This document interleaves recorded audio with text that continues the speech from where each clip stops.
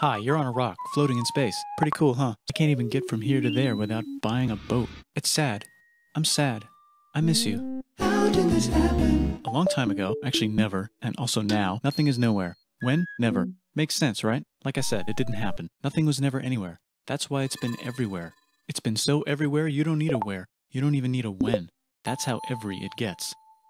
Great news, the protons and neutrons are now happily married to each other. Some of them even doubled up. Congratulations, the world is now a bunch of gas in space. And it's getting closer together.